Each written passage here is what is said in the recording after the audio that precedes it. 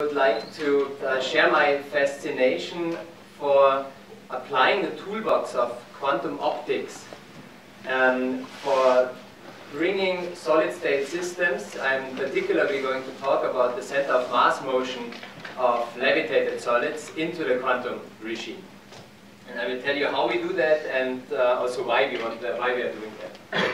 So uh, first of all, when we um, talk about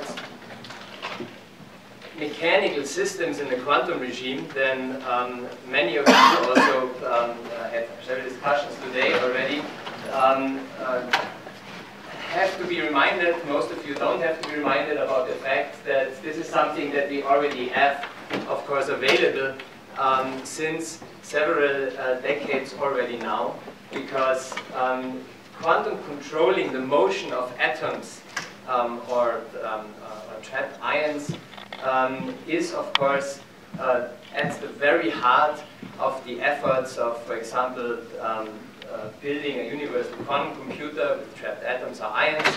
Um, like here, uh, this is the basis of the seminal work of Cirac and Zoller, because it is actually um, the phonons in the, um, of the collective motion of the ions that help to transduce the interaction between the localized um, qubits in these individual particles. So uh, in a way, this already this has already been done, and um, what I'm going to do now is um, I will blatantly use the methods that have been developed in the domain of AMO physics um, and apply it not to the collective motion of 5 or 10 or 15 atoms, but to the collective motion of 10 to the 5, 10 to the 10, 10 to the 15 atoms, um, which now collectively move as um, center of mass degree of freedom of a solid. So this is what we are, uh, what we are going to do. This is uh, basically the uh, different topics that I would like to cover. First, I would like to give a very brief introduction about the main ideas, um, how to establish that. Um, then I will tell you a little bit um, about the motivation um, uh, why we want to go to ever larger systems and uh, individual systems controlled in the quantum regime. And then I will give you um, a sneak preview into our lab, uh, what is the state of the art currently um, in trying to uh, control these levitated systems. So let me start very briefly um, and remind you uh, what the overall idea is.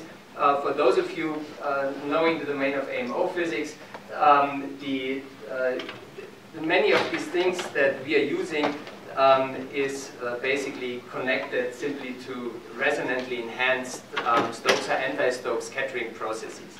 So in a very classical picture, um, what we have is uh, we try to couple mechanical motion um, of a system to the radiation field of a cavity, um, and once you manage to somehow modify the cavity frequency, you get a coupling between the motional degrees of freedom um, and the um, and the, the, the, excitations inside the cavity.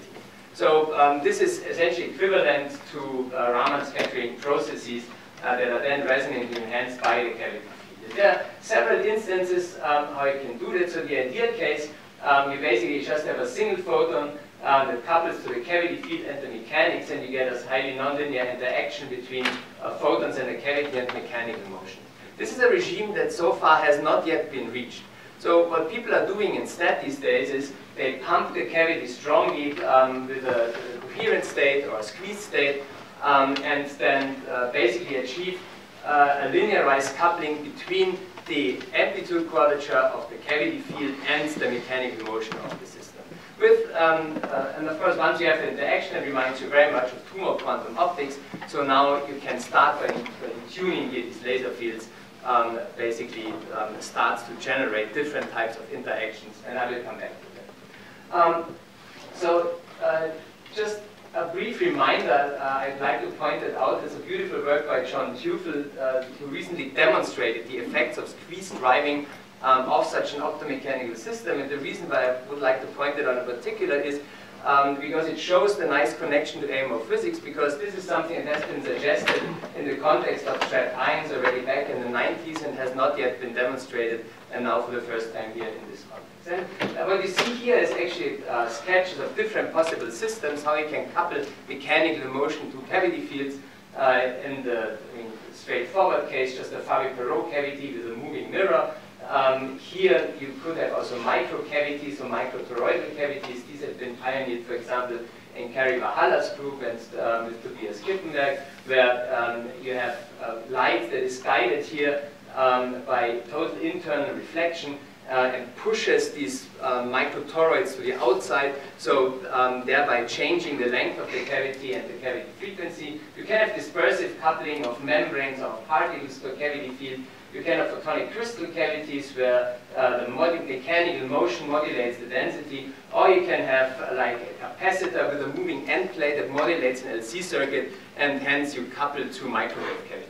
And so this is so uh, the, the, the um, let's say, breadth of different systems that you can play. Let me give you um, a specific example of what we have recently been doing in Vienna. This is work that uh, was performed jointly with Simon Gröblacher's group at Delft. Um, let's assume the following system. So you have a one-dimensional waveguide, photonic waveguide, made out of silicon or silicon nitride.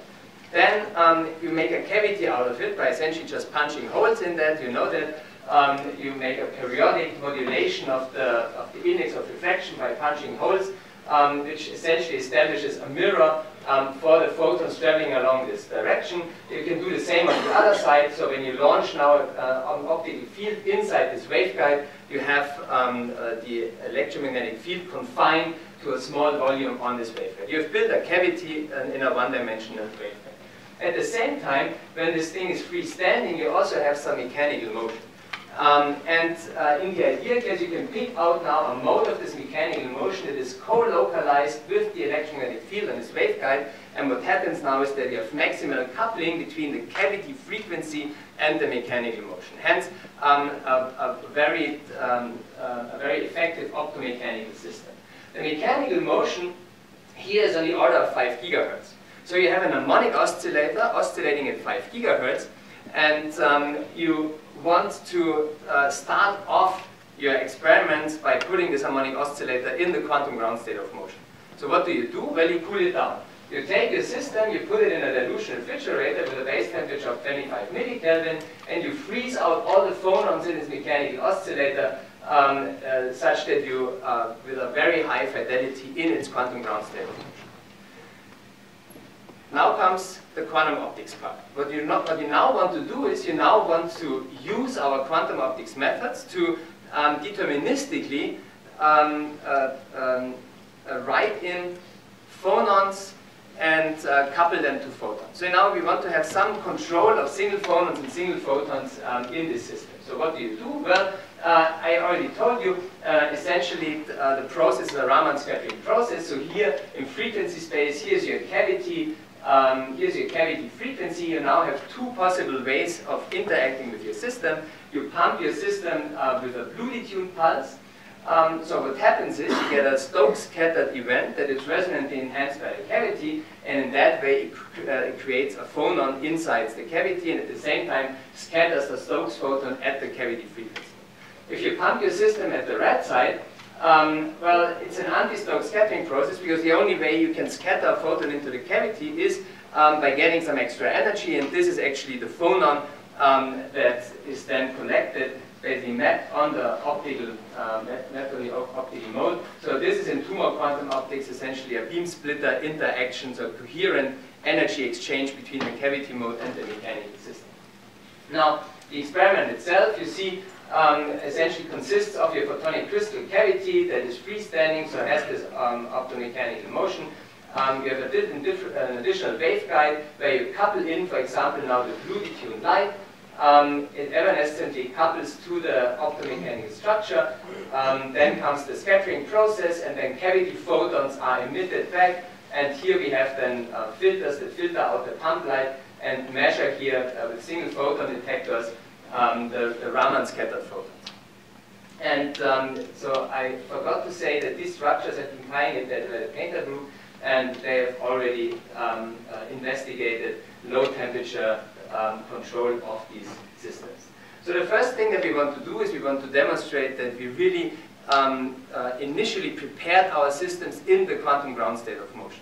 Again, there's a very old trick from the, uh, uh, from the trapped ion community um, which is essentially thermometry via sideband scattering. And the main idea is um, if you have a system in the quantum in its quantum ground state, um, then you can always deposit energy onto the system, but you cannot extract energy from the system anymore.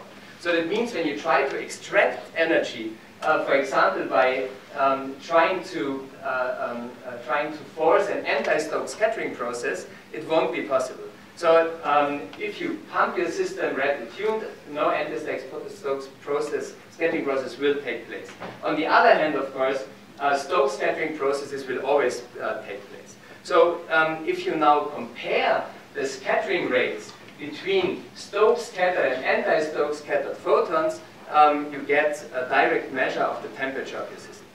So we did that, um, and you see from the imbalance we can infer that the overall phonon occupation in the system, so just barely cooled, uh, just just uh, just cooled um, in this dilution Fischer rate that is in the order of 10 to the minus 2. Note, this is three orders of magnitude worse than we expected, because we expected 10 to the minus 5, and the reason is simply optical absorption. So at ultra low temperatures, um, any bit of absorption immediately heats up your structure. This is also why um, we only have a very short time window for our disposal for doing these experiments. Once the pulse is too long, uh, we heat up the structure and we populate it with thermal uh, So now what you can do is, um, for example, again, a, uh, a Stokes scattering process produces um, a phonon and a, a Raman, uh, uh, uh, produces a, a, phonon and a Stokes scattered photon. So this is like an, a down conversion process in quantum optics where you have a, where you populate um, in your process a, um, pairs of signal and idler photons. In our case, we create pairs of phonons on the oscillator and Stokes photons uh, in the cavity. So what you can do now is you can post-select on um, the detection of a, the emission of a Stokes photon, and then you know that a single phonon has been created in your resonator. So this is our first experiment. So basically here in this process, in this Stokes scattering process, you create a photon-phonon pair. Um, upon detecting a Stokes scattered photon, you know that you have a single phonon in your resonator, and then you can uh, essentially do Hanbury Brown-Twiss um, interferometry. So you can map now the phonon back onto a single photon and do intensity interferometry and measure um, the, um, the, the autocorrelation um, function. And uh, in our case, we measure the G2 at zero time delay um, of 4.65. So thereby violating a Cauchy-Schwarz inequality and demonstrating the non-classical character of the state that was produced uh, conditionally in your mechanical system. Well, then you can continue um, to play uh, the known games um, of, uh, in this case now, quantum information processing. You can have two of these resonators. So in that case, we had two different chips, two devices uh, on two different chips. Both were placed in the same um, dilution refrigerator. You switch on again your blue pump um, on a beam splitter, so it means you pump both device A and device B. Um, if a phonon is created uh, in the upper device, a Stokes photon will be emitted up here. If it's created in lower device, a Stokes photon will be created up there. So you have a, so, so to speak, which path information um, where the phonon has been created. So what you do is you overlap these two modes in a beam splitter, you erase the information, and upon detection um, of a single photon here at the output port of your interferometer, um, you know that you have generated now um, a delocalized phonon state between those two uh, resonators. And uh, this is essentially known as the DLCZ protocol, the Duan Lukin Cirac Zoller protocol that has been devised for long distance quantum communication because this is an elegant way of distributing entanglement as a resource over long distances. Um, so um, again, uh, this basically the, the, entanglement was over 20 centimeters. The optical fibers that were between the two were 70 meters. So in principle, nothing speaks speaks against really um, separating these systems even more. Okay. So uh, just to sum up, th these were just examples um, of how we exploit known quantum optical protocols um, to achieve control over single photons and single phonons in such um, solid state systems. And basically wrapping up the, the, space a little bit of where we are today. So um, now going from mechanical systems in form of single atoms in a quantum regime to mechanical systems um, uh, in form of solid state systems in a quantum regime, um, it's very safe to say that we do have now mechanical solid state systems in a quantum regime in, uh, in many, many labs all around the world. And just to give you a couple of examples, um, people have demonstrated quantum um, uh, ground states of motion via uh, cavity cooling uh, or laser cooling. Um, people have generated quantum squeeze states of motion, uh, again using a protocol known from the, from the trapped ion community, essentially reservoir engineering, um, where a two-tone um, of both the blue and the red tunes uh, beam drives your optomechanical system, and then you generate correlations um, between uh, creation and annihilation mechanical operators generating these discrete states of motion. Um, Non-Gaussian states of motion have been generated by coupling them either to superconducting qubits or what I just showed you in our lab by basically using a down conversion or two-mode squeezing operation to generate uh, pairs um, of photons and phonons, and then entanglement has been shown uh, in various instances, either of the EPR type or of the, uh, the type.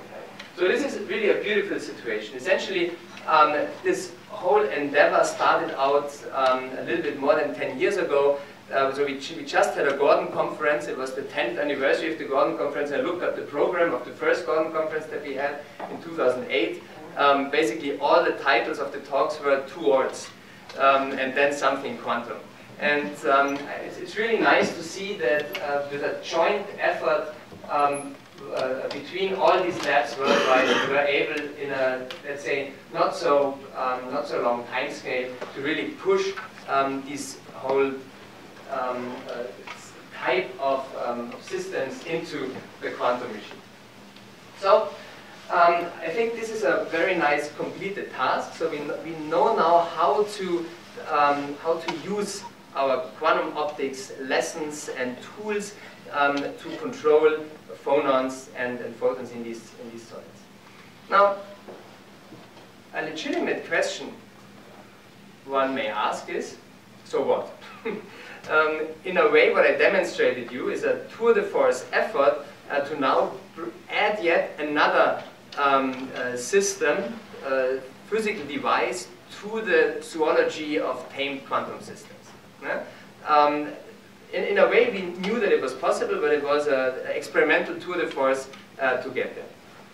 Um, so a, a, question you might ask is, um, what are are, are, there, are, there, are there unique features of um, such systems um, that allow you to do experiments that you cannot do with other systems? And this is, some, this is a point that I would like to address now. Um, I would like to touch upon um, the possibility for using uh, these type of interactions for probing in a new way the gravity quantum interface. And I'll tell you what I mean by that. What is very well known is that quantum systems are extremely sensitive probes of external fields. You name it. Electric fields, magnetic fields, but of course also gravitational fields. So one of my favorite experiments um, is the so-called COW experiment after the initials Colella, Overhauser, and Werner that probe the influence of Earth's gravitational field on the wave packet dynamics of a neutron. So you know from your uh, quantum opti uh, from, your, from your quantum mechanics course that when a, when a particle traverses through an external field, it acquires a dynamical phase. So an, an, an additional global phase um, um, uh, that basically is proportional to the action um, uh, um, of the, the particle acquires in this uh, potential. Now, uh, we know that we cannot measure um, global phases, but we can measure phase differences, and a way to probe that for the neutron is to send the neutron through an interferometer, uh, basically split the wave packet and let the two different branches of the interferometers, interferometer traverse through, um, through two uh, different heights of the gravitational fields. Therefore, therefore, picking up different phases, and when you close the interferometer again, then you will get a phase difference that depends on the height difference between these two parts. So what you do now is if you measure the um, interferometer output as a function of rotation of the interferometer in Earth's gravitational field, you will get uh, oscillations which are gravitationally induced uh, phase shifts uh, of, the, of, the, of the neutron wave. Okay? So, um, and gravity here is the uh, Earth's gravitational field. Now, this was um, back in, in the 70s. Uh, this was the first experiment to demonstrate that.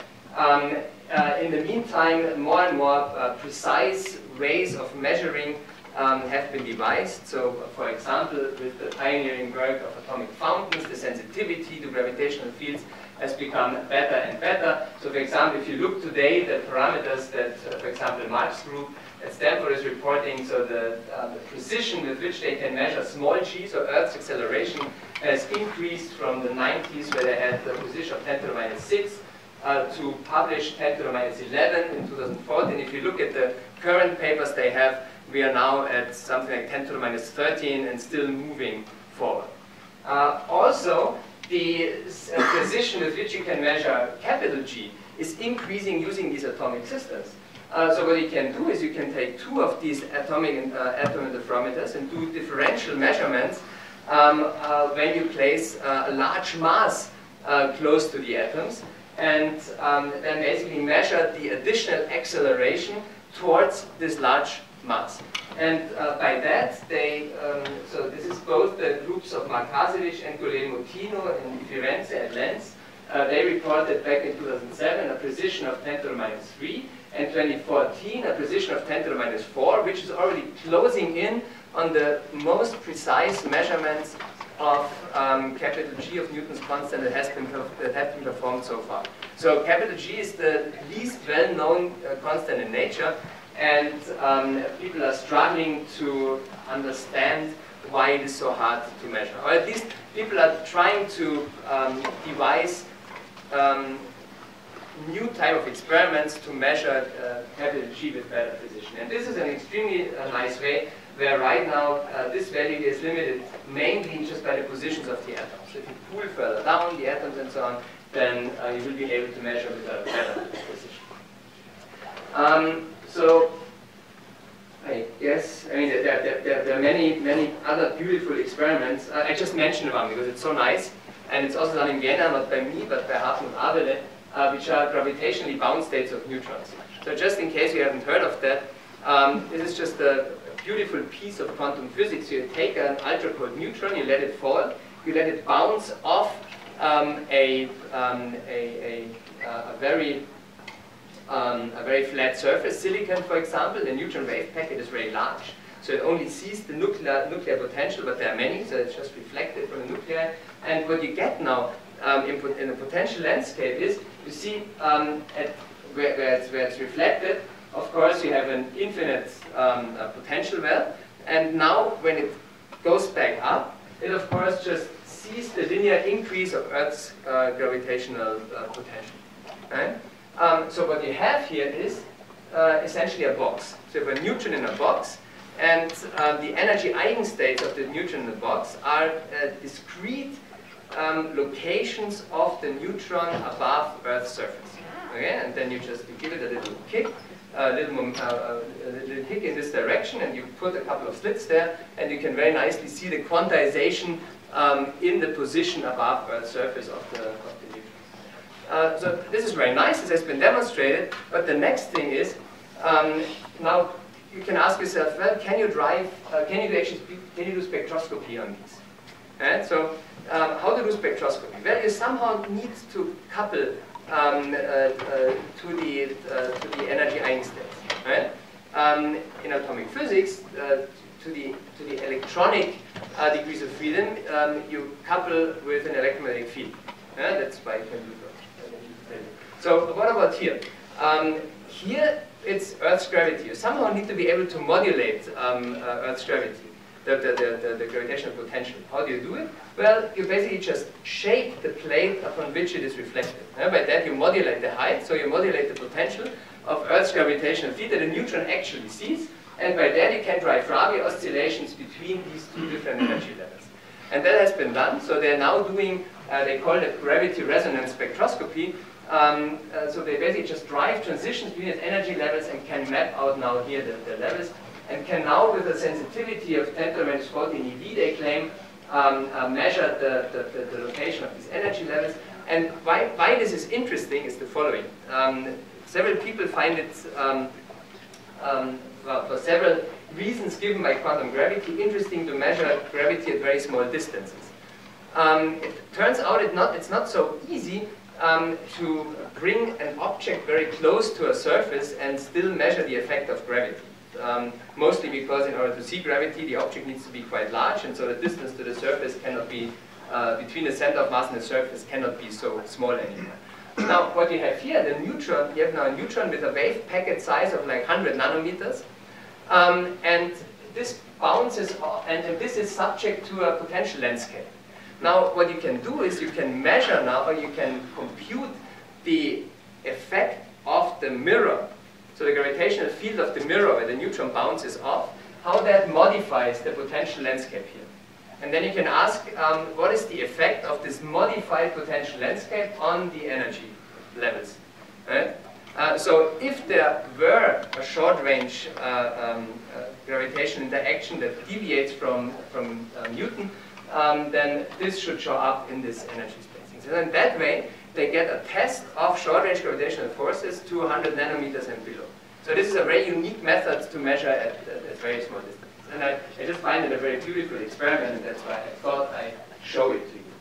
So um, then there are, of course, other uh, fantastic experiments. For example, my colleague at Strasel in Hanover, Wolfgang Ertmer, they are now putting essentially a whole BEC experiment um, into uh, uh, these cylinders with 80 centimeters diameter um, in order to let them fall from a drop tower um, where within um, like 10 seconds you make a full uh, MOTS, you trap the particles, you make a BEC, you do atom interferometry before your whole uh, experiment crashes down into these, um, you know, these little bubbles in which your oscilloscopes are normally packed. Um, uh, and, and then they then they put it up again and do it again. So the whole thing is so stable, it falls out of lock when it crashes down there, but then they can redo the experiment and it works again. And then you can basically take the whole thing, you can um, uh, you can put it uh, actually inside uh, this cylinder, which goes in a rocket. Um, then here's the rocket place recently, like uh, I think a couple of months ago, where for the first time they had um, such an uh, atom interferometer on a sounding rocket. And then the, the, next goal is, of course, to do that uh, on an even larger rocket, uh, bring it out somewhere, have a dual species interferometer, and then um, measure the equivalence principle uh, by looking at the possible or the, the not existing um, uh, phase shift in the interferometer depending on the species that they have. Well, uh, again, this is just a beautiful um, example of how people are using quantum systems to probe gravity. And now I would like to ask um, a different question. So all the examples that I've shown you, and I basically just stop here because of reasons of time, I, I could, the, the, the, number of examples are just um, many and beautiful. Um, all, in all of these cases, the quantum system has been used as a test mass in some external gravitational field. So the question I would like to ask is, what about if we use the quantum system as a source mass? So what about um, if we can prepare um, systems that are so large, so massive, that their own gravitational field can be, can have an experimental consequence in a non-classical state of motion. Is that possible or not? And uh, I would like to um, convey the message that now based on um, all the efforts that uh, we and many others have been putting into quantum controlling uh, solids, that uh, there is an actual route towards such experiments. So let me just give you a brief historic perspective on that. So people have thought about that, of course, already. Uh, here's a beautiful example of the uh, so-called Chapel Hill Conference, which took place in 57. This was a conference organized by um, Bryce DeWitt and um, motivated by, by John Wheeler to basically inspire um, people to, um, say, reinvestigate the importance of gravitational physics research. Um, this conference brought together people um, working on gravity, on field theory, and so on, and Feynman was also there as the, the, person who, well, in a way, if you read, this is all fully transcribed, the whole, the whole conference. So the, the proceedings is really a full transcript also of the discussions. And um, so the, Feynman's role was essentially to uh, teach quantum physics to the um, uh, gravitational field theorists. And um, he, there were a couple of uh, um, Gedanken experiments that were brought forward, and I just uh, show you this one, um, where essentially the idea was you have some machine, this is on purpose of course um, device some sort of Stern-Gerlach uh, apparatus, you have some machine that can place an object, here's a, a, a, massive object in a superposition of two center of mass locations. And then the question is what happens if you bring in now a second object and the only thing that you allow for is gravitational coupling between the two. What's going to happen? Well, of course, what we expect to happen is um, that these two systems become entangled with each other. Okay, so this is um, this is the this is the whole idea, and um, uh, so um, Louis Witten uh, was also in the audience, and he actually asked, so what prevents this from becoming a practical experiment? Uh, so let me let me show you. This is like the rest of the talk is about what prevents this from becoming a practical experiment, and there are many reasons. So I give you one.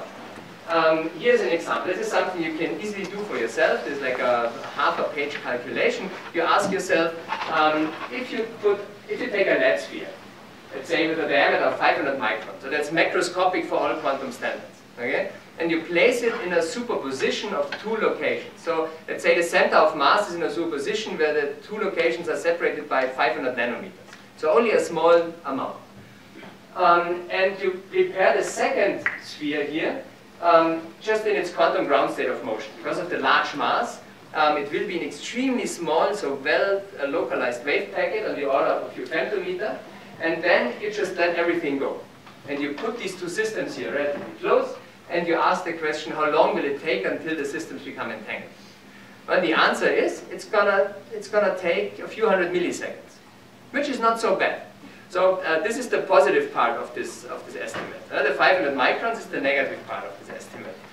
Um, but it turns out, if you start to become a little bit more inventive, so uh, this is a total back on the envelope that even I can do where you just uh, look at free fall, uh, so free dispersion of wave packets, free fall, and you ask the question, uh, what are these time scales?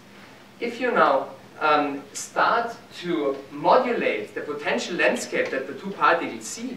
For example, what you can do is you can, um, you can switch on repulsive potentials, that the dispersion of the wave packet is accelerated exponentially, and then bring them back, for example, with again confining potential. If you start playing these tricks, uh, there has been a beautiful paper recently by the group of Oriol Romero Isart, where they essentially have a situation like that, and instead of a 500 micron sphere, they come up with a similar time scale um, um, for a 2 micron sphere. So just by playing around with optimizing the potential landscape, the dynamics in which such an experiment happens, you can already gain orders of magnitude uh, in the, uh, let's say, boundary conditions of that experiment. And that was by no means an optimized effort. Um, then there are other approaches to, to understand this experiment. There's been a beautiful paper recently by Sougato Bose and Gerald Milburn and others, where essentially they take the Feynman experiment and um, analyze it in the terms of the COW experiment. So they realize that um, you know the, the presence of this mass introduces a gravitational phase shift on uh, this mass. So basically what you have is you have a phase gate uh, the presence of this one, the conditional presence of this one implies a phase here or not. Okay? Um, so you have a conditional phase gate. If the phase is such that you add um, a pi phase shift, uh, you can construct a conditional uh, sign gate. Uh, and for a conditional sign gate, so we just cha change the, um, the phase of 1 by pi, you know that if you apply conditional, uh, conditional sign gate um, on two qubits, the output state is entangled. So it's, in a way, it's a reinterpretation of the experiment in the language of quantum information. So this is just very nice. And they also come up with very similar timescales in, in this experiment. I just want to point it out because it's a nice way of looking at it. Okay, so the question now um, that we have to ask is, uh, how, how reasonable is that at all? Okay, where are we today? So if you look at the landscape of current experiments, uh, you see the following. So here's a plot, uh, coherence time versus mass um, where you can see that current matter wave experiments have extremely long coherence times, but extremely small masses. Uh, our current mechanical experiments have much larger masses, but much smaller coherence times, simply because they, are, they talk a lot to their environment. current gravity experiment, don't have anything to do on the coherence scale, um, but you see the smallest system for which a gravitational field has been measured so far in a lab-based experiment is 100 grams, uh, which is uh, also extremely large. So the, and, and our Gedanken experiment is somewhere here. And this is a log-log scale. So the, the effort uh, consists in bringing those two domains together. Okay? And the question is, um, how can you do that? And these are the two approaches that we are following. So basically, we are trying to address two different questions. The first one is just a classical sensing question. How small can you make a source mass, gravitational source mass, and still measure its gravitational field? Again, the smallest source mass that has been measured so far in experiments is 100 grams. Surely you can do better than 100 grams, but how, how well can you do? Um, so we have uh, basically uh, written a, a, white paper um, for an experiment to measure gravity of, uh, milligram masses. So this will already um, already uh, improve the current bound by three orders of magnitude.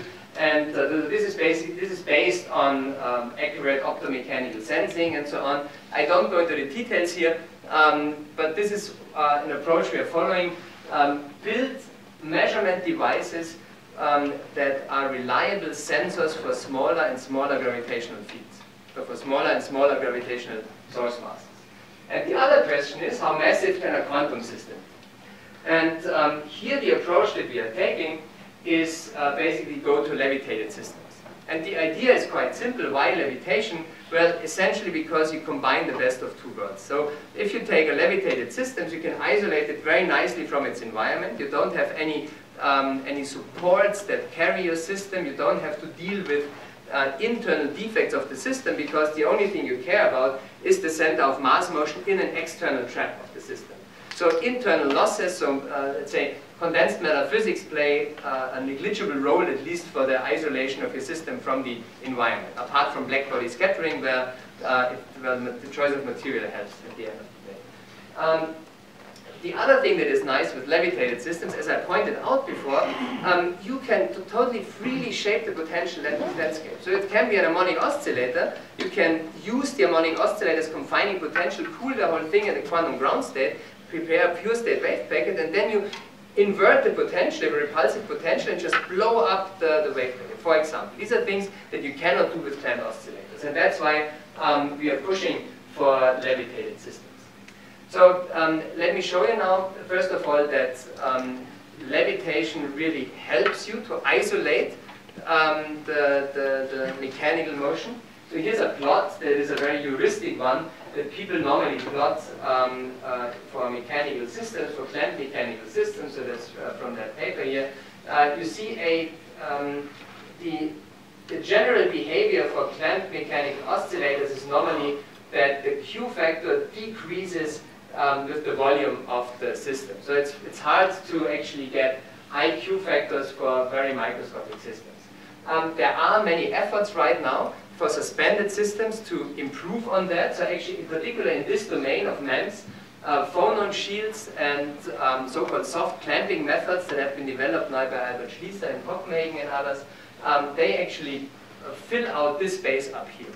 Uh, this space is still quite unpopulated, but as you see here, uh, there are current experiments, um, for example, here Jan is in the audience, uh, experiments that Jan did in, in the Rodney's group, Quidant's group, um, our group that basically um, demonstrate now uh, levitated, um, uh, small levitated particles of some hundreds, hundreds of nanometers in um, at, at, high vacuum and therefore with extremely uh, high quality factor. So this shows you that um, levitated systems at under high vacuum conditions um, actually are extremely well isolated mechanical systems. So uh, the next thing that you can do is uh, you have now your optically levitated system. Um, how do you now play quantum optics tricks? Well, you have to couple it to a cavity. You have to bring in a cavity somehow. So one thing you can do is um, you basically put a cavity around such that, uh, for example, this direction here now uh, couples to the cavity field again. And then you just play the tricks. Um, you have now scattering of the, um, of the, the cavity field um, into um, into Stokes and anti-Stokes sidebands and you know resonantly enhance it with the cavity, and you can do all the um, all the physics that I showed. Now, uh, how does it look in real life? Uh, what we are following are several approaches. So um, we try to bring um, a particle, a nanoparticle, um, somehow with a tweezer to some location, and where you place a cavity, and then you have uh, interaction between the cavity field and the particle.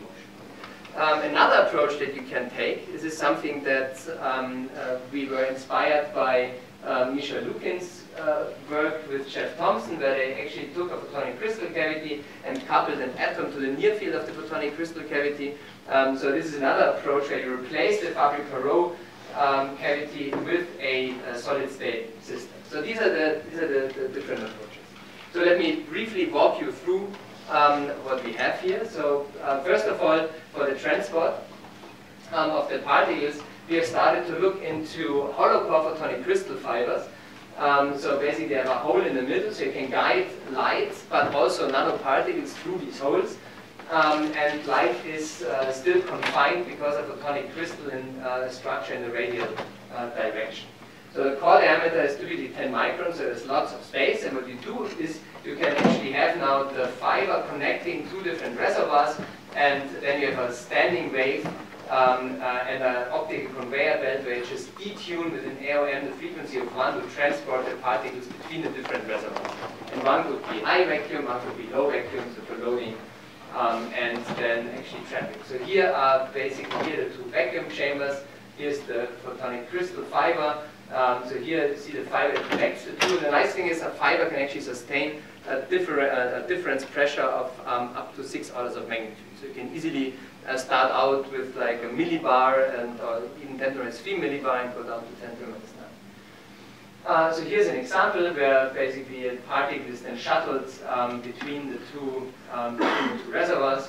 But um, of course, this is not really a surprise that that works. Then, you know, then basically you can, can characterize the whole thing. Just one uh, interesting thing to point out: um, we do have um, multi-mode uh, scattering inside the inside the photonic crystal fiber, which is very interesting. So we have several um, several modes propagating inside the fiber, which means that we can get full 3D information um, of the particle motion inside uh, the fiber, and we use that um, in a first step um, for feedback. So this is just a 1D feedback where we have a particle inside the fiber and then do feedback uh, on the particle motion inside the fiber. And with the 3D information, we can also do full 3D feedback.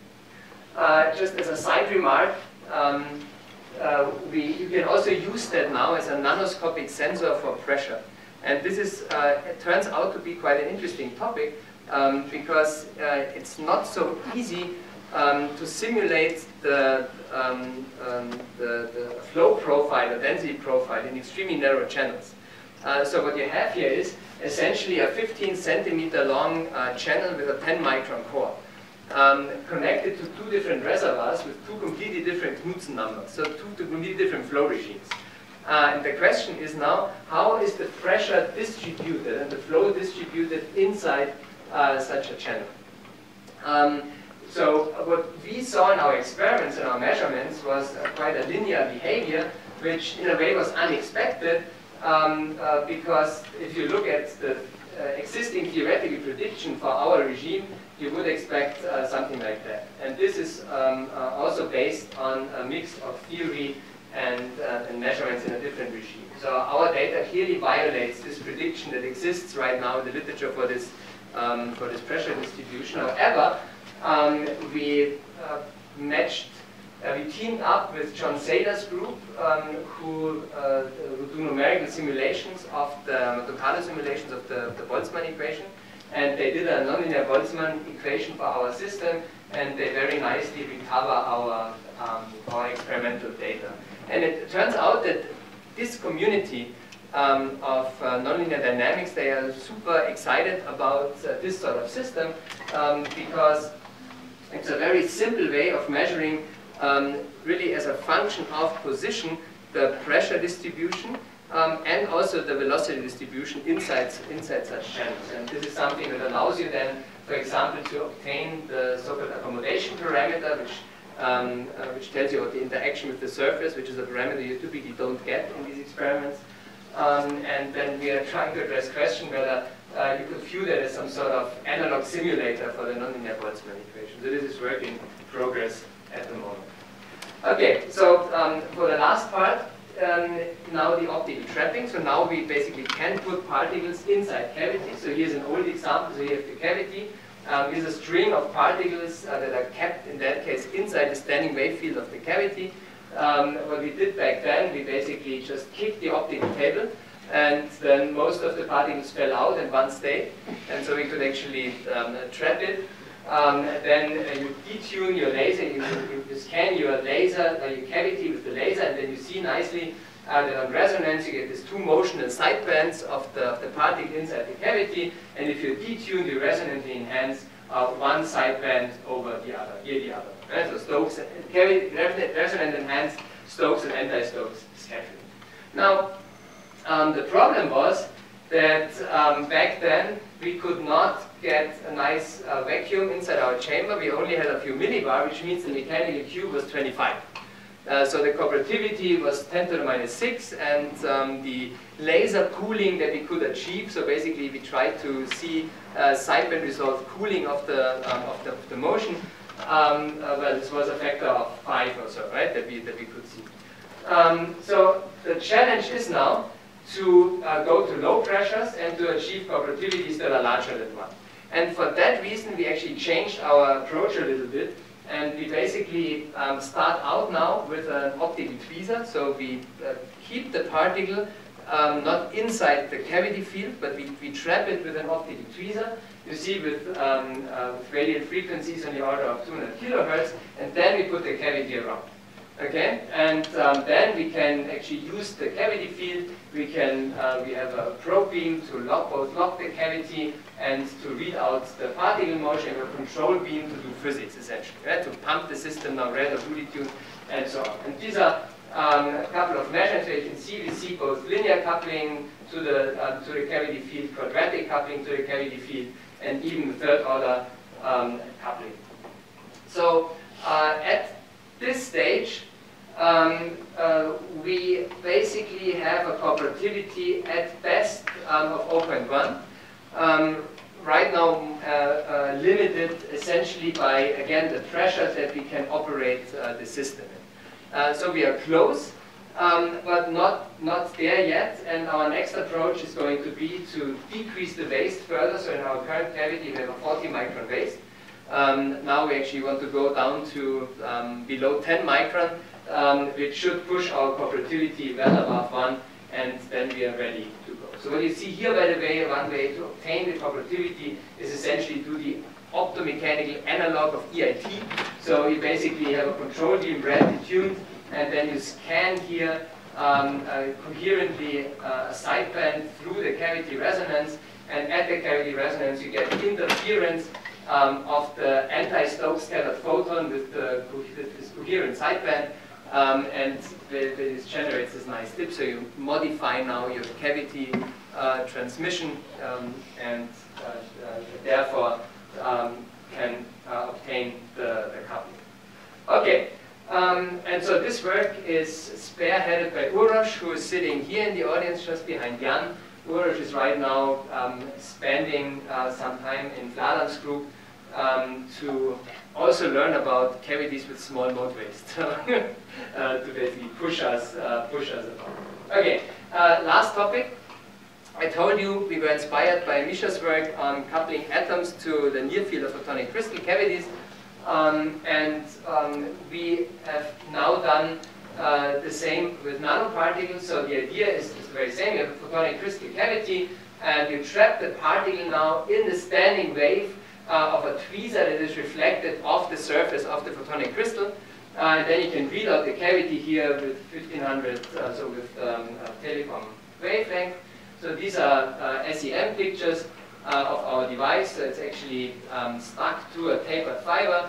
Um, I told Lorenzo, who is the student working on the project, that I would be very impressed to see an SEM picture with the levitated particle. And that is the picture that he sent me. So you see um, we have a levitated particle um, in the SEM. And here's a real picture, so actually real data, um, with a particle that we bring then close to the cavity and then couple to the cavity. Um, I, I, I jump now a little bit over the things if you want to have more details I'm here until Friday noon, so there's lots of time for discussions. Um, the cavity um, has a nice, uh, well, has a, let's say, medium Q factor, 10 to the 4, uh, 50,000, so we have like um, a couple of gigahertz cavity line width.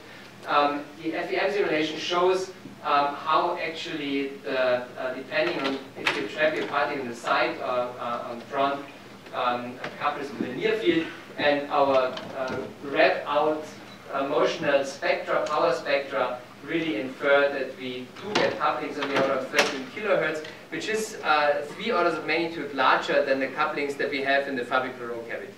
Okay, so this just shows the strength of the near field coupling um, in these in these systems.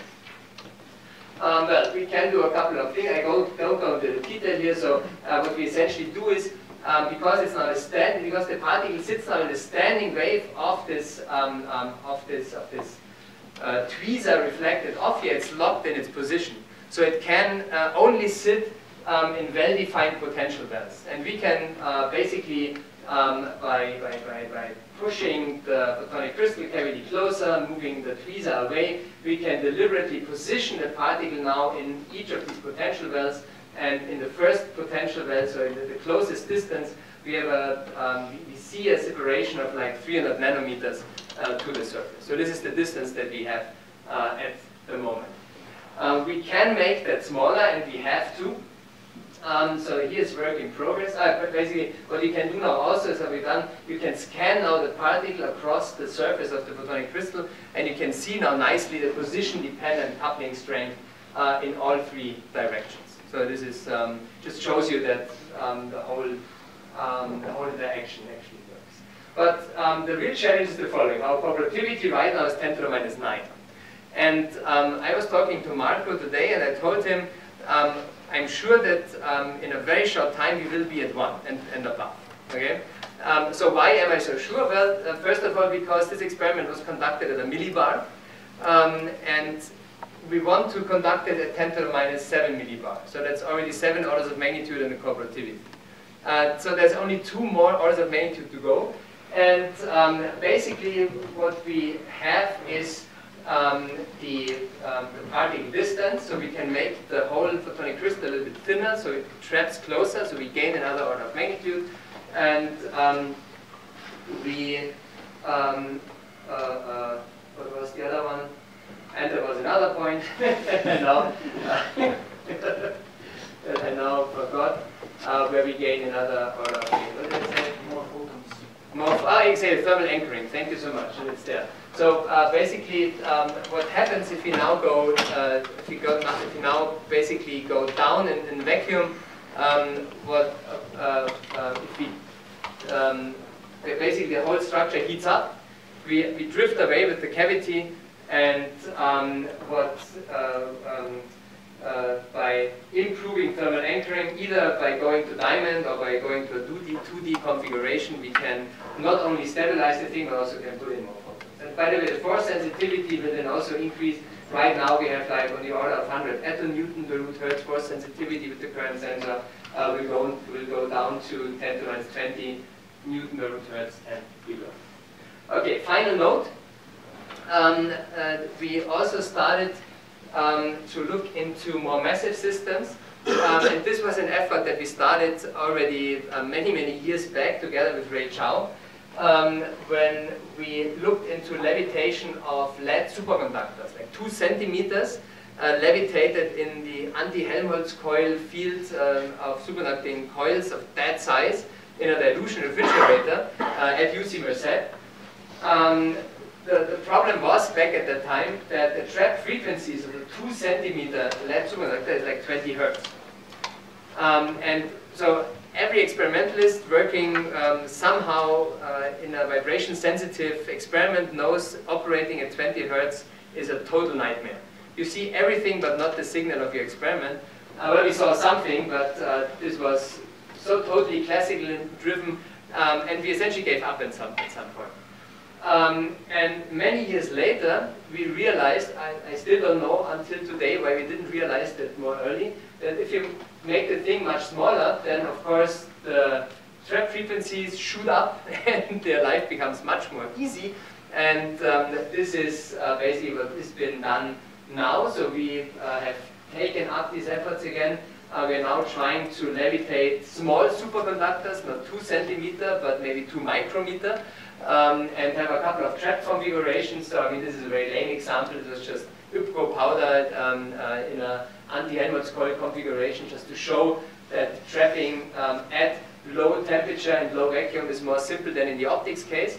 Uh, but now the real challenge begins, of course, uh, because the real challenge means that we have to bring now the particle motion somehow close to a, readout device, which would be some superconducting, uh, um, let's say a pickup loop that couples to a superconducting cavity, and then we can play again, uh, again play our tricks of quantum optical control.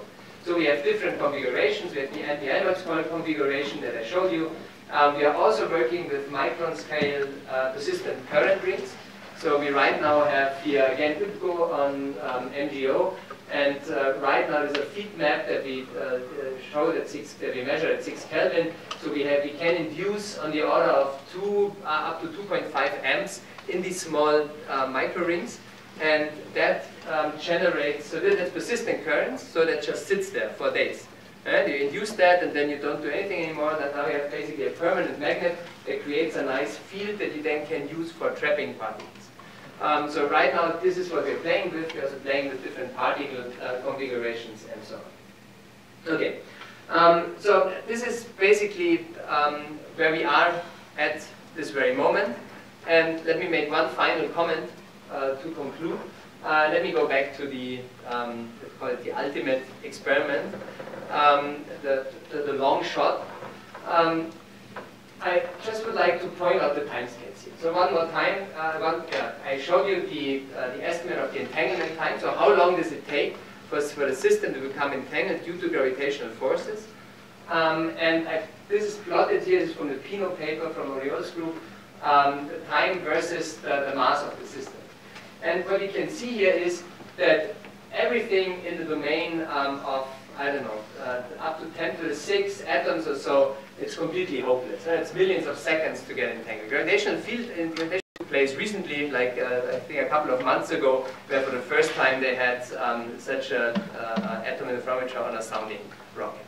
And then the, the, next goal is, of course, to do that uh, on an even larger rocket, uh, bring it out somewhere, have a dual species interferometer, and then um, measure the equivalence principle uh, by looking at the possible or the, the not existing um, uh, phase shift in the interferometer depending on the species that they have.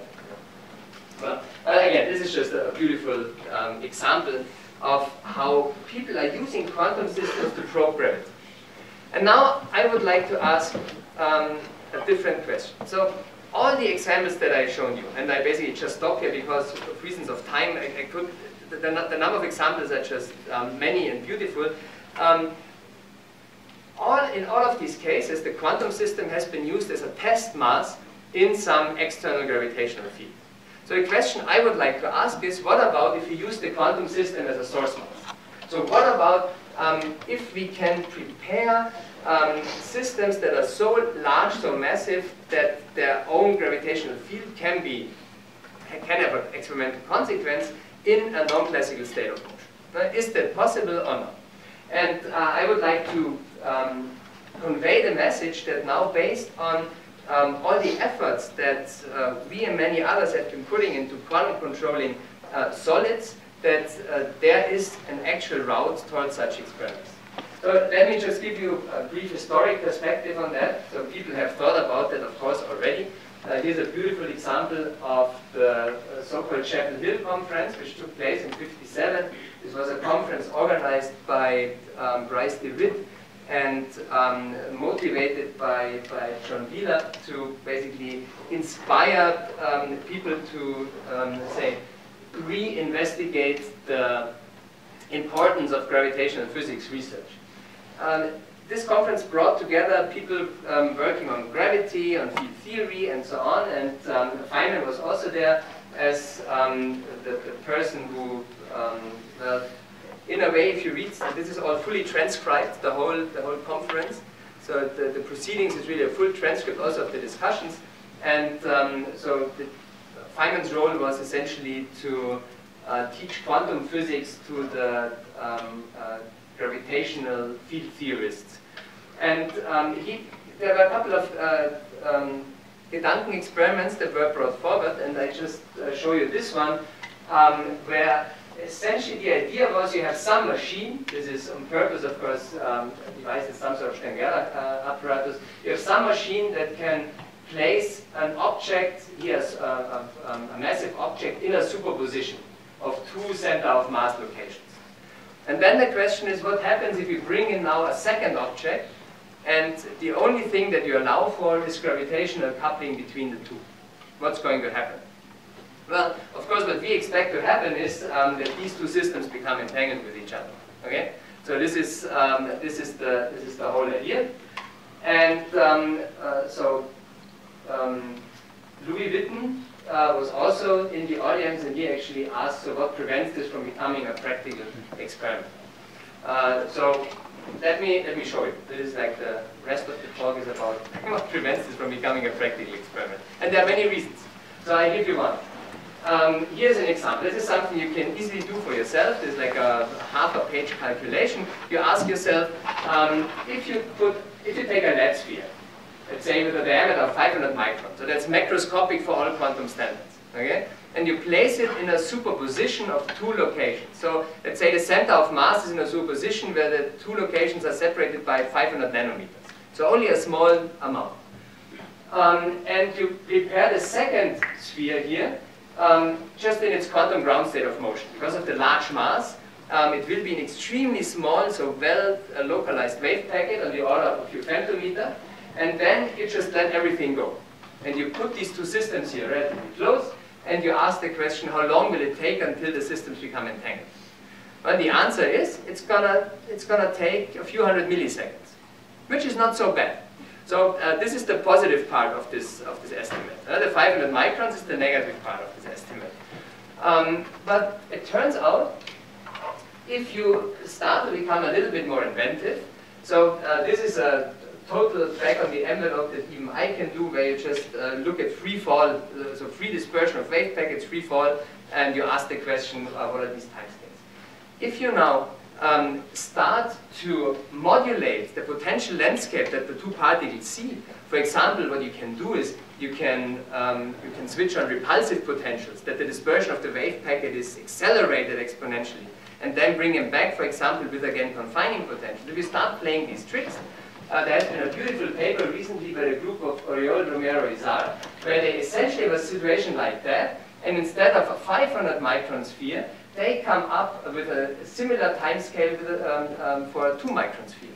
So just by playing around with optimizing the potential landscape, the dynamics in which such an experiment happens, you can already gain orders of magnitude uh, in the, uh, let's say, boundary conditions of that experiment. And that was by no means an optimized effort. Um, then there are other approaches to, to understand this experiment. There's been a beautiful paper recently by Sougato Bose and Gerald Milburn and others, where essentially they take the Feynman experiment and um, analyze it in the terms of the COW experiment. So they realize that um, you know the, the presence of this mass introduces a gravitational phase shift on uh, this mass. So basically what you have is you have a phase gate yeah, the presence of this one, the conditional presence of this one implies a phase here or not. Okay? Um, so you have a conditional phase gate. If the phase is such that you add um, a pi phase shift, uh, you can construct a conditional uh, sign gate. And for a conditional sign gate, so we just cha change the, um, the phase of 1 by pi, you know that if you apply conditional, uh, conditional sign gate um, on two qubits, the output state is entangled. So it's, in a way, it's a reinterpretation of the experiment in the language of quantum information. So this is just very nice. And they also come up with very similar timescales in, in this experiment. I just want to point it out because it's a nice way of looking at it. Okay, so the question now um, that we have to ask is, uh, how, how reasonable is that at all? Okay, where are we today? So if you look at the landscape of current experiments, uh, you see the following. So here's a plot, uh, coherence time versus mass, um, where you can see that current matter wave experiments have extremely long coherence times, but extremely small masses. Uh, our current mechanical experiments have much larger masses, but much smaller coherence times, simply because they, are, they talk a lot to the environment. Current gravity experiments don't have anything to do on the coherence scale, um, but you see the smallest system for which a gravitational field has been measured so far in a lab-based experiment is 100 grams, which is uh, also extremely large. So the, and, and our Gedanken experiment is somewhere here, uh, and this is a log-log scale. So the, the effort uh, consists in bringing those two domains together. Okay? And the question is, um, how can you do that? And these are the two approaches that we are following. So basically, we are trying to address two different questions. The first one is just a classical sensing question. How small can you make a source mass, gravitational source mass, and still measure its gravitational field? Again, the smallest source mass that has been measured so far in experiments is 100 grams. Surely you can do better than 100 grams, but how, how well can you do? Um, so we have uh, basically uh, written a, a, white paper um, for an experiment to measure gravity of, uh, milligram masses. So this would already um, already uh, improve the current bound by three orders of magnitude. And uh, this is basic, this is based on um, accurate optomechanical sensing and so on. I don't go into the details here, um, but this is uh, an approach we are following. Um, build measurement devices um, that are reliable sensors for smaller and smaller gravitational fields, so for smaller and smaller gravitational source masses. And the other question is, how massive can a quantum system? And um, here the approach that we are taking is uh, basically go to levitated systems. And the idea is quite simple. Why levitation? Well, essentially because you combine the best of two worlds. So if you take a levitated system, you can isolate it very nicely from its environment. You don't have any um, any supports that carry your system. You don't have to deal with uh, internal defects of the system because the only thing you care about is the center of mass motion in an external trap of the system. So internal losses, so uh, let's say condensed matter physics play uh, a negligible role at least for the isolation of your system from the environment, apart from blackbody scattering where, uh, it, well, the choice of material helps at the end of the day. Um, the other thing that is nice with levitated systems, as I pointed out before, um, you can totally freely shape the potential landscape. So it can be an harmonic oscillator. You can use the harmonic oscillator's confining potential, cool the whole thing in a quantum ground state, prepare a pure state wave packet, and then you invert the potential, the repulsive potential, and just blow up the, the wave packet, for example. These are things that you cannot do with clamped oscillators. And that's why um, we are pushing for levitated systems. So um, let me show you now, first of all, that um, levitation really helps you to isolate um, the, the, the, mechanical motion. So here's a plot that is a very heuristic one that people normally plot um, uh, for mechanical systems, for plant mechanical systems, so that's uh, from that paper here. Uh, you see a, um, the, the general behavior for plant mechanical oscillators is normally that the Q factor decreases um, with the volume of the system. So it's, it's hard to actually get high Q factors for very microscopic systems.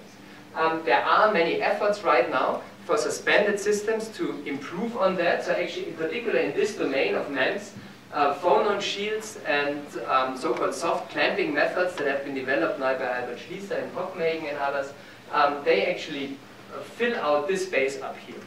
Uh, this space is still quite unpopulated, but as you see here, uh, there are current experiments, um, for example, here Jan is in the audience, uh, experiments that Jan did in, in Novotny's group, Quidant's group, um, our group that basically um, demonstrate now uh, levitated, um, uh, small levitated particles of some hundreds, hundreds of nanometers in um, at, at, high vacuum and therefore with extremely uh, high quality factors. so this shows you that um, levitated systems at under high vacuum conditions um, actually are extremely well isolated mechanical systems.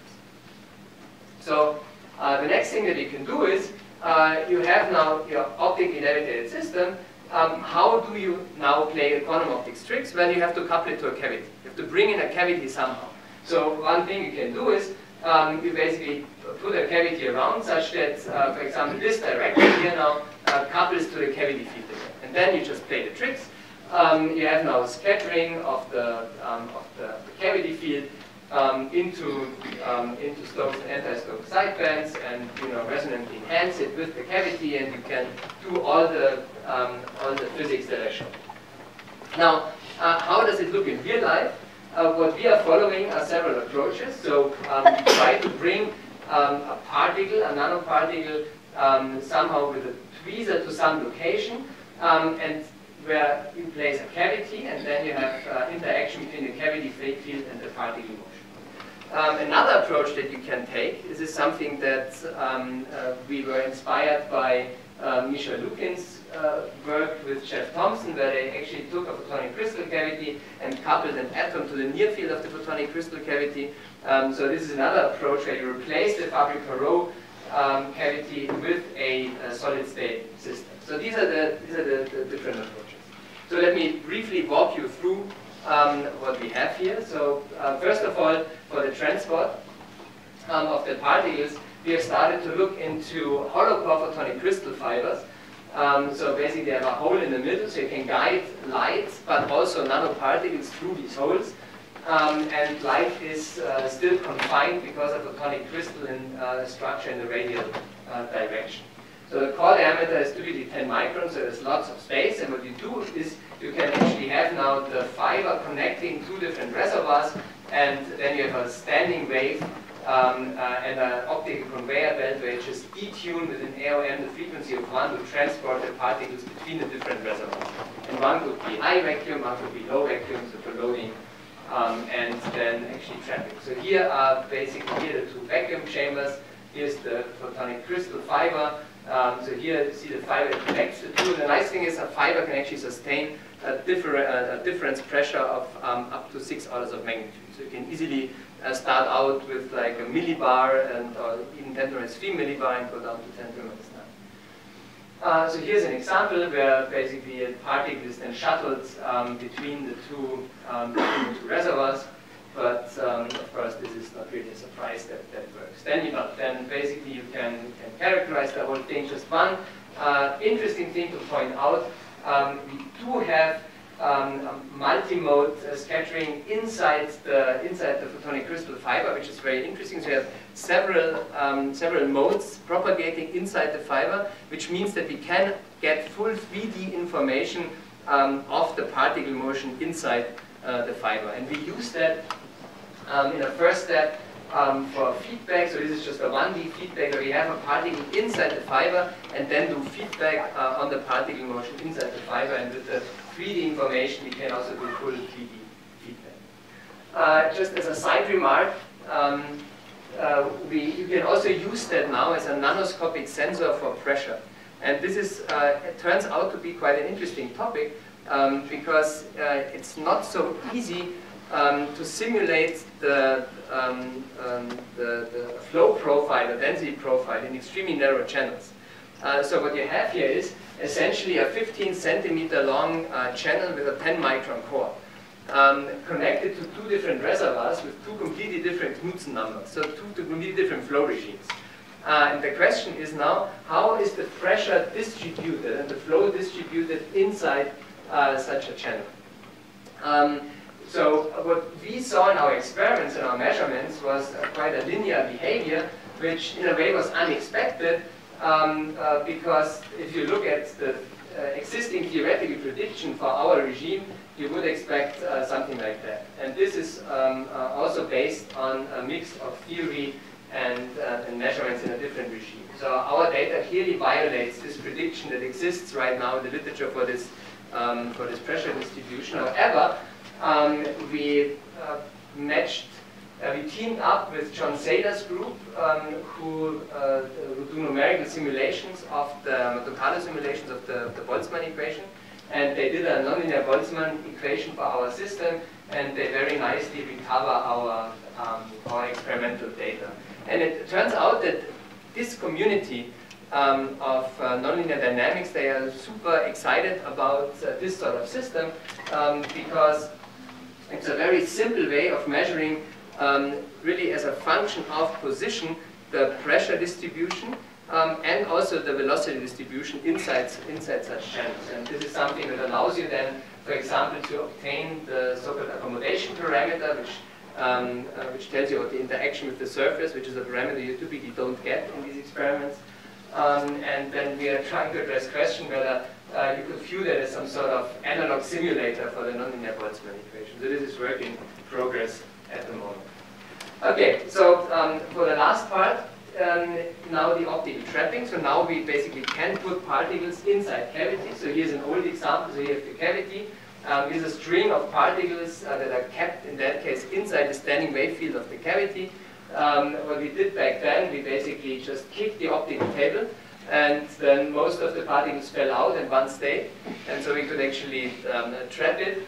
Um, then uh, you detune your laser, you, you, scan your laser, uh, your cavity with the laser, and then you see nicely uh, that on resonance you get these two motional sidebands of the, of the particle inside the cavity, and if you detune, you resonantly enhance uh, one sideband over the other, here the other. Right? So Stokes, cavity, resonant enhanced Stokes and anti-Stokes scattering. Now, um, the problem was that um, back then we could not get a nice uh, vacuum inside our chamber. We only had a few millibar, which means the mechanical Q was 25.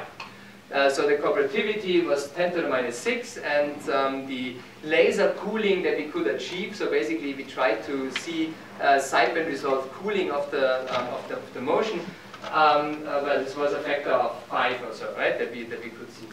Um, so the challenge is now to uh, go to low pressures and to achieve cooperativities that are larger than 1. And for that reason, we actually changed our approach a little bit. And we basically um, start out now with an optical tweezer. So we uh, keep the particle um, not inside the cavity field, but we, we trap it with an optical tweezer. You see with, um, uh, with radial frequencies on the order of 200 kilohertz, and then we put the cavity around.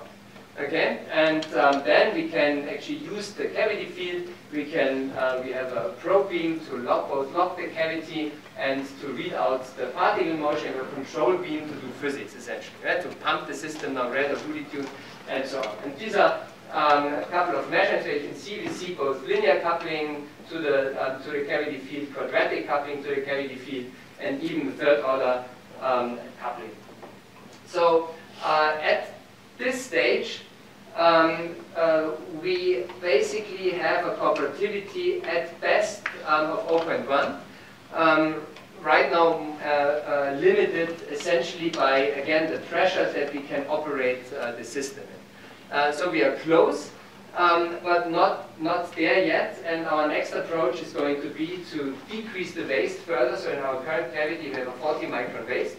Um, now we actually want to go down to um, below 10 micron, um, which should push our cooperativity well above 1, and then we are ready to go. So what you see here, by the way, one way to obtain the cooperativity is essentially do the optomechanical analog of EIT. So you basically have a control beam red tuned, and then you scan here um, uh, coherently uh, a sideband through the cavity resonance, and at the cavity resonance you get interference um, of the anti-Stokes scattered photon with the this coherent sideband, um, and this generates this nice dip, So you modify now your cavity uh, transmission um, and uh, uh, therefore um, can uh, obtain the, the coupling. Okay, um, and so this work is spearheaded by Urosh, who is sitting here in the audience just behind Jan. Urosh is right now um, spending uh, some time in Vladan's group um, to also learn about cavities with small mode waist uh, to basically push us, uh, push us along. Okay, uh, last topic. I told you we were inspired by Misha's work on coupling atoms to the near field of photonic crystal cavities. Um, and um, we have now done uh, the same with nanoparticles. So the idea is, is the very same. You have a photonic crystal cavity, and you trap the particle now in the standing wave uh, of a tweezer that is reflected off the surface of the photonic crystal. Uh, and then you can read out the cavity here with 1500, uh, so with um, telecom wavelength. So these are uh, SEM pictures uh, of our device. It's actually um, stuck to a tapered fiber. um, I told Lorenzo, who is the student working on the project, that I would be very impressed to see an SEM picture with the levitated particle. And that is the picture that he sent me. So you see, um, we have a levitated particle um, in the SEM. And here's a real picture, so actually real data, um, with a particle that we bring then close to the cavity and then couple to the cavity. Um, I, I, I jumped now a little bit over the things. If you want to have more details, I'm here until Friday noon, so there's lots of time for discussions. Um, the cavity um, has a nice, uh, well, has a, let's say, medium Q factor, 10 to the 4, uh, 50,000, so we have like um, a couple of gigahertz cavity line width.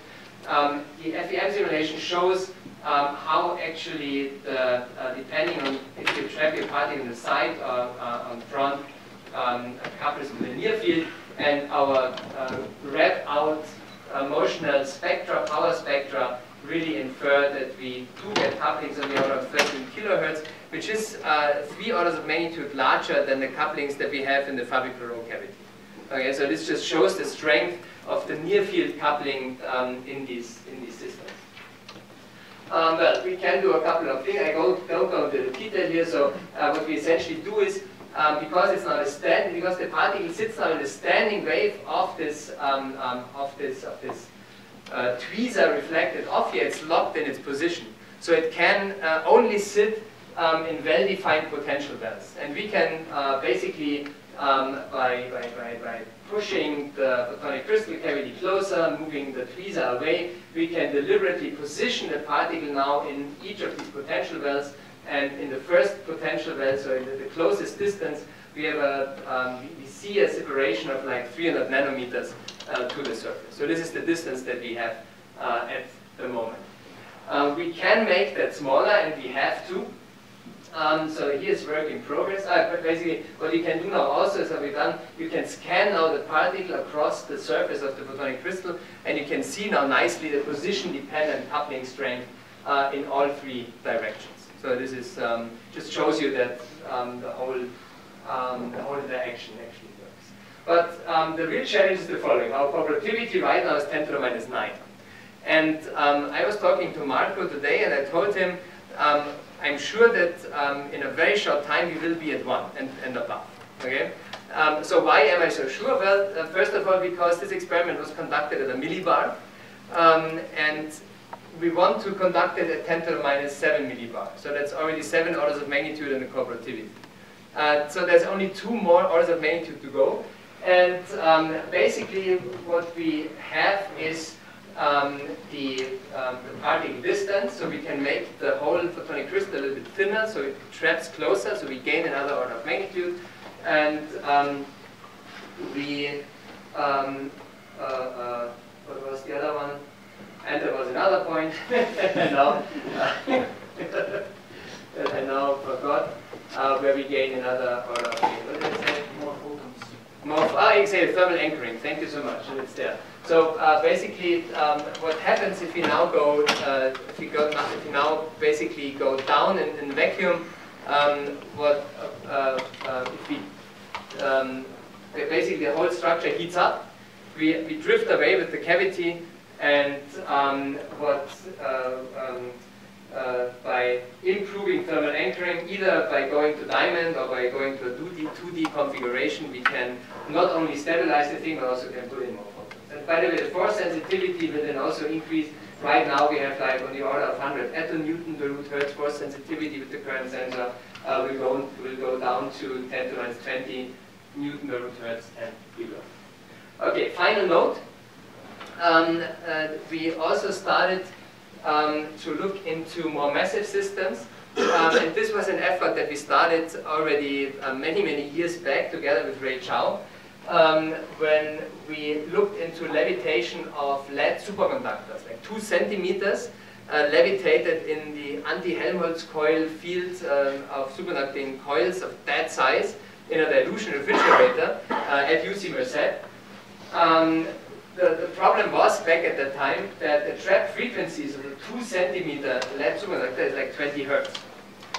Um, and so every experimentalist working um, somehow uh, in a vibration sensitive experiment knows operating at 20 hertz is a total nightmare. you see everything but not the signal of your experiment. Well, we saw something, but uh, this was so totally classically driven, um, and we essentially gave up at some, at some point.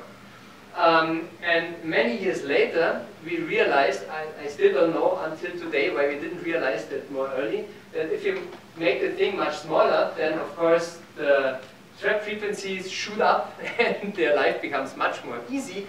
And um, this is uh, basically what has been done now. So we uh, have taken up these efforts again. Uh, we are now trying to levitate small superconductors, not two centimeter, but maybe two micrometer, um, and have a couple of trap configurations. So I mean, this is a very lame example. It was just YBCO powder um, uh, in an anti-Helmholtz coil configuration, just to show that trapping um, at low temperature and low vacuum is more simple than in the optics case. Uh, but now the real challenge begins, of course, uh, because the real challenge means that we have to bring now the particle motion somehow close to a, readout device, which would be some superconducting, uh, um, let's say a pickup loop that couples to a superconducting cavity, and then we can play again, uh, again play our tricks of quantum optical control. So we have different configurations. We have the anti-Helmholtz configuration that I showed you. Um, we are also working with micron scale uh, persistent current rings. So we right now have here again YBCO on um, MgO, and uh, right now there's a feed map that we uh, show at six that we measure at six Kelvin. So we have we can induce on the order of two uh, up to 2.5 amps in these small uh, micro rings, and that um, generates so that persistent currents, so that just sits there for days. And you induce that, and then you don't do anything anymore. That now you have basically a permanent magnet that creates a nice field that you then can use for trapping particles. Um, so right now, this is what we're playing with. We're also playing with different particle uh, configurations and so on. Okay, um, so this is basically um, where we are at this very moment. And let me make one final comment uh, to conclude. Uh, let me go back to the, um, call it the ultimate experiment, um, the, the, the, long shot. Um, I just would like to point out the timescales here. So one more time, uh, one, yeah, I showed you the, uh, the estimate of the entanglement time. So how long does it take for, for the system to become entangled due to gravitational forces? Um, and I, this is plotted here, this is from the Pino paper from Oriol's group, um, the time versus the, the mass of the system. And what you can see here is that everything in the domain um, of I don't know, uh, up to 10 to the 6 atoms or so, it's completely hopeless. Uh, it's millions of seconds to get entangled. Gravitational field, in if you go to glass beads, um, well, you know, then you're somewhere here and you see the entanglement time is on the order of a thousand seconds. This you cannot do in a lab-based experiment, but there are proposals here, for example, by Rainer Kaltenbaek, how to um, piggyback on the existing optics of the LISA Pathfinder mission and have an experiment where you could operate under such um, of course, if you want to go to uh, millisecond timescales or tens of millisecond timescales, then superconducting levitation is the way to go. There you can have extremely large densities. Um, you can achieve quantum state control by coupling the motion of superconducting circuits, and this should be a possibility to actually uh, um, uh, drive these interactions um, to this um, regime. Okay, so that's it. Um, this is actually where I um, so this is our endeavor, we want to bring these two domains together. Maybe at some point, I don't know, that depends on how far we can push technology, even um, overlapping, um, let's, let's see. So uh, this is basically my summary. Uh, here's our, the reason why we want to do quantum control of levitated systems. Uh, we, um, uh, um, we basically use optic levitation and magnetic levitation. The big motivation, the long shot, is establish a new interface between quantum physics and gravity. Um, and we have a couple of approaches, both bottom-up and top-down. Um, in an even bigger picture, uh, I would like to point out at the end, um, I really find it fascinating to look again at the landscape right now of uh, different um, experimental efforts to investigate the interface between quantum physics and gravity. Um, so if you look at uh, basically what had happened um, over the last 50 years, so the 60s started out with the beautiful experiments by Pound and Rebka, actually here in Harvard, uh, and uh, then Colella, Overhauser, and Werner. um, with neutron interferometry. Then came microwave atomic clock. So basically, this was the, the, the, the generation of experiment that demonstrated gravitational coupling to quantum systems. Then came the next uh, phase, um, up from the 80s to uh, the 2010s, where ever better um, uh, experiments, uh, basically AMO experiments, pushed precision measurements of Newtonian gravity and also uh, uh, general relativity.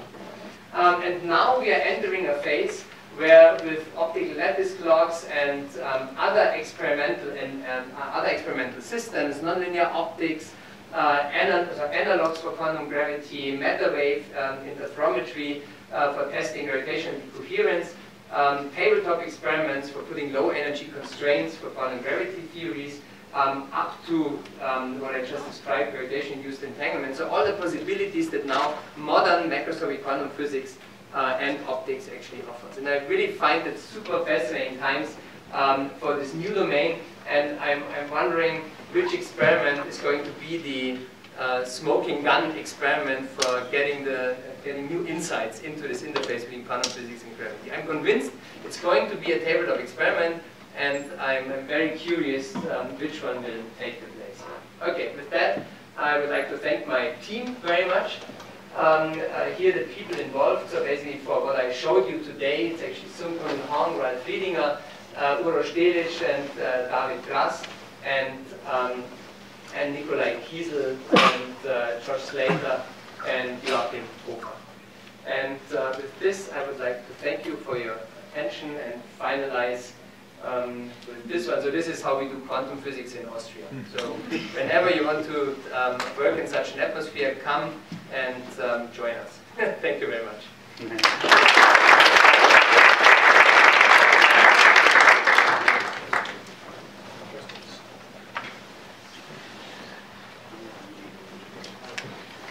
Yeah, very nice. Um, to, to, to, um, automatic equation is to, to, measure g at small distances, right? And so one of the of the main challenges is, of course, that the gravitational force is like 40 orders of magnitude smaller than um, electric uh, forces. Um, how do you um, um uh, is there any picture on how this the scales, like the difficulty to distinguish gravity forces from residual electrical forces, mm -hmm. how that changes as you go to smaller sizes. Yes. Is it getting easier or harder, or what's your picture on that? Thank you very much. Um, so you're fully correct. Um, although, of course, in the comparison that you uh, that you said, um, you have to take into account that this is the gravitational. Uh, so that what is compared is this Coulomb of two electrons between uh, gravity between two electrons. So um, uh, what helps a lot is the mass. Right. right. So you immediately jump many, many orders of magnitude if instead of um, uh, two electrons, you compare two, uh, let's say, particles with uh, uh um, two objects with 10 to the 10 atoms each inside.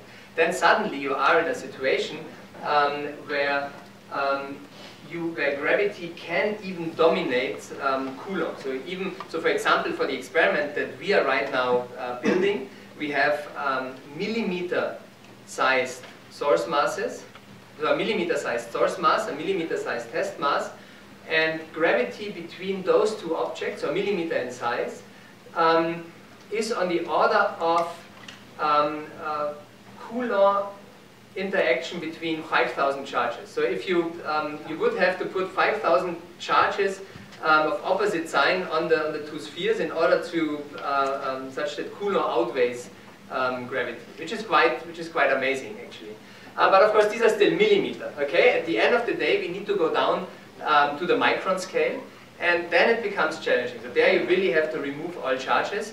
Uh, then you have patch potentials on the surfaces. So um, here what helps is, of course, the scaling. Um, so basically, um, uh, van der Waals um, uh, will, will actually drop much faster than gravity. So if you can keep a sufficiently large distance between the two objects, you can uh, basically qua design um, uh, eliminates the effect of these forces. So uh, definitely uh, the boundary condition will be that you must not bring your objects too close. Okay, so also in our experiments we always try to keep distances of some tens of micrometer uh, in order to um, uh, prevent near field um, forces to kick in. And Coulomb, um, I'm confident we can, uh, we can actually take experimentally, remove the charges. Um, patch potentials is a challenge. I mean, you can have some shielding membranes, for example. This is a, a known technique that people are using for shielding these patch potentials. So this is, yeah, so we, we, these are all the things we have to um, try. But right now, so on paper, uh, it should be possible. Any more questions? So, if not, Nancy? Since no one else is asking, maybe I'll ask about your belief of why why do you, why do you believe it will have to be a tabletop experiment? this asks LIGO. So LIGO is still a tabletop experiment, okay? if this is the question. No, in, in general, like why why favor one over the other, and or or why experimentally, like technically speaking, do you actually like you think that it can be done in tabletop Yes, or I, I think that is, that is the point. No, I think that, um, I mean, if you look at the, the history of, of tabletop experiments, I mean, it's, at the end, um, you need uh, a beautiful idea and uh, a beautiful mind to design the right experiment, so I'm, I'm really convinced that this is going to, this is going to happen. it's also cheaper. and it's cheap. So uh, I'm trying to understand. I mean, what what what what what what, um, what do you think we could learn ah, from from entangling yes. uh, two uh, particles using static gravitation? Yes. Because uh, you know, fr- from the electromagnetic point of view, it's like I take two dipoles with permanent dipoles, Yes, and they are in the near field, and I know that there is an interaction one over r cubed, yes, and they get entangled because of indestructible. What would I learn about the photon right. in, in such an experiment? Right. Th thanks a lot. I mean, this is uh, actually uh, the, the most important question because also when you see what people write about that, um, there's lots of. Is the camera still on?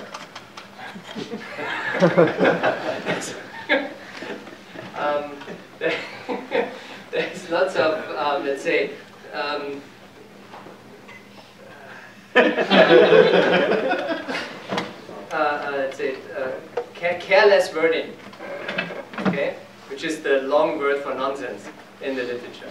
Um, and one of, one of the statements is, oh, you learned something about the quantization of gravity, uh, which is totally not true. Uh, because exactly for the reason you just stated, um, it's static fields. Right? And for static fields, um, basically, um, uh, you don't, it essentially means um, you don't need gravitons to mediate the interaction. Okay?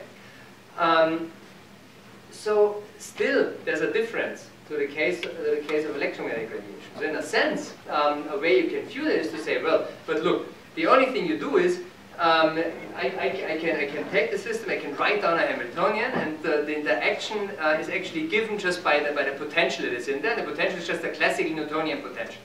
Okay, and therefore everything is classical, and the quantization is only in the in the x and p in my in my Hamiltonian, right? And this is where it comes from. So there, uh, at no stage in the whole experiment um, you have to take into account any quantum character of gravity. Okay? Um, now, you have to ask the question, where does the potential come from? So what does actually the potential mean in that case? And well, the nature of gravity is that the potential um, is derived from the non-trivial part of the metric tensor. So um, what really mediates the, um, the interaction, so basically what, what another way to view the interaction is um, that the particles move along geodesics in a curved spacetime. Okay? So that means that uh, gravitational attraction uh, is directly connect connected to the metric tensor, so to the spacetime itself. Now, if gravity is at all times classical, okay, then the following happens. You have a particle in a superposition. The um, gravitational field that is created by this object in a superposition, or the space-time that is generated by this object in a superposition, is at all times one fixed space-time, so classical. Which means that the particle that now follows the geodesic of this field, will, well, this particle will always follow now one well-defined geodesic. Which means it will never become entangled.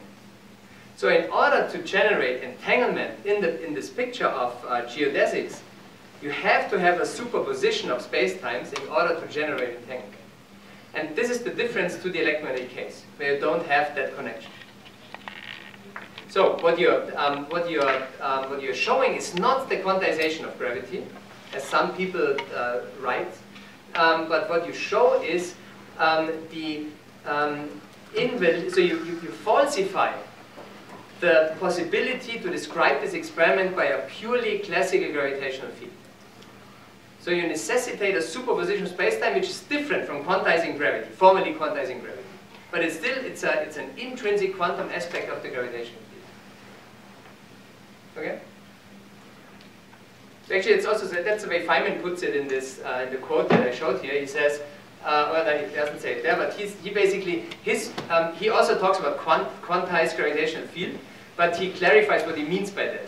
What he says uh, in his transcript is, if I can put, uh, so I have to put a probability amplitude to the field in order to describe the outcome of the experiment, and once I can put, once I have to put probability amplitudes, this is what I call quantization of the field.